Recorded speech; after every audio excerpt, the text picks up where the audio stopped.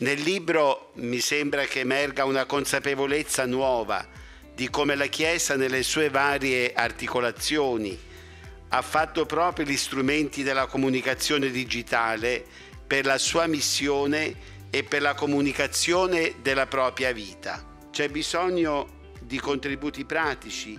come quello di questo libro, che ci insegnino ad utilizzare gli strumenti non nella direzione di un mondo sempre più individualista, ma come mezzi per attirare alla vita concreta della Chiesa. Oltre a riflettere sul rapporto fra virtuale e reale, a scoprire le opportunità offerteci dal web, il libro indica come un certo utilizzo dei vari social possono aiutarci a condividere, alimentando così il senso della comunità.